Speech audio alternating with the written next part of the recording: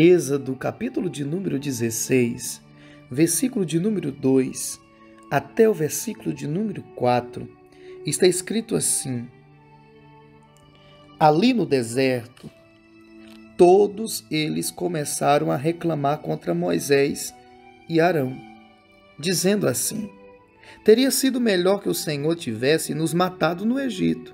Lá nós podíamos pelo menos nos sentar e comer carne e outras comidas à vontade. Vocês nos trouxeram para este deserto a fim de matar de fome toda esta multidão. O Senhor Deus disse a Moisés: Agora eu vou fazer chover do céu pão para vocês.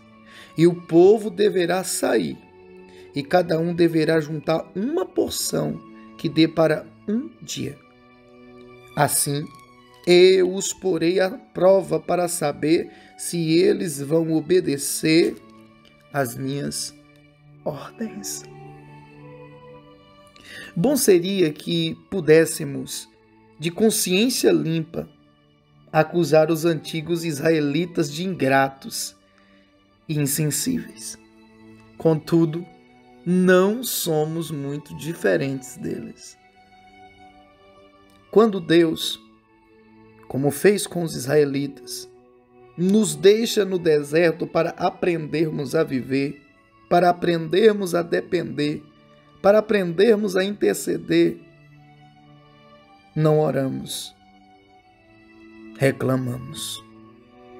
Quando Deus nos deixa só com o mínimo, maná e codorna, para aprendermos a compartilhar, para aprendermos a nos contentar, para aprendermos a orar, não oramos. Gritamos, lançamos mão de nossos direitos para exigir justiça. No entanto, devíamos apenas confiar. É legítimo chegar diante de Deus e apresentar as nossas queixas, mesmo em forma de lamúrias, e pedir a Ele que intervenha, mas não com base nos nossos possíveis méritos, e sim confiados na bondade dele. Temos muita dificuldade nessa área porque tendemos a achar que o nosso sofrimento é um sofrimento por uma questão de justiça. Assim como o sofrimento não é justo, a graça também não é justa. É por isso que podemos recorrer a Ele para que nos ministre Sua graça. Eu quero orar por você. Meu Deus e meu Pai, nesta manhã gloriosa deste dia, Tua mensagem foi ministrada, que nós possamos confiar e não reclamar. Que nós possamos orar e não murmurar.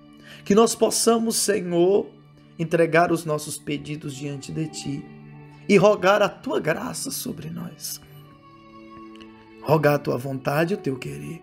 E que nós possamos, ó meu Deus, aceitar a Tua vontade, mesmo que não venhamos entender por um momento mas que nós venhamos crer que ela é boa, perfeita e agradável para nós.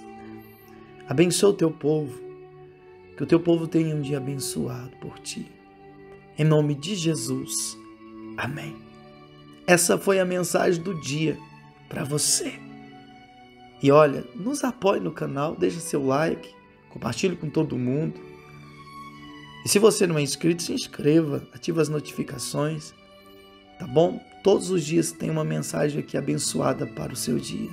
Eu te espero aqui amanhã, viu? Fique na paz e até amanhã, se Deus quiser.